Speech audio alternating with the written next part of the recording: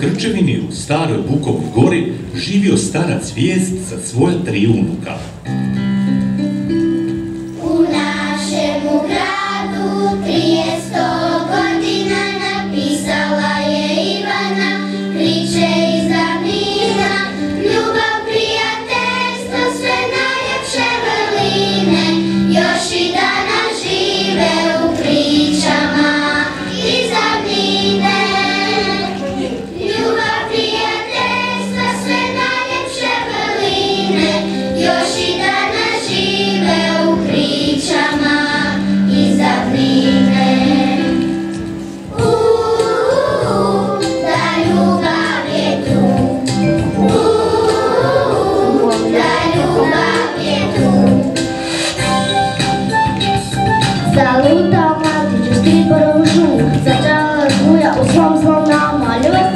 je majke spasila mladića uz pomoć domaćih malika.